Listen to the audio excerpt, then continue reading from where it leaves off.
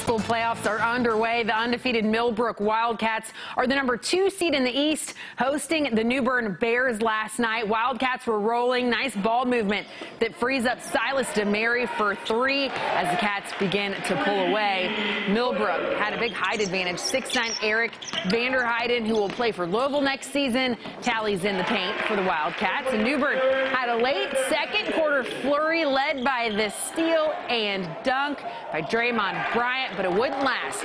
The Millbrook fast break was unstoppable.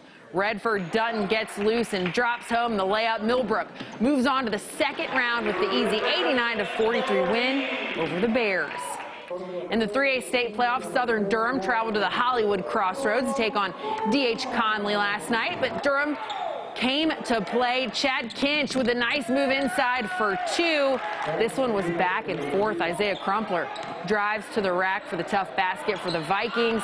Then at the other end, Jashawn Hawkins goes it to work. He gets the and one basket to drop for the Spartans, but the Vikings come from behind in this one to advance to the next round, 50 to 47, the final.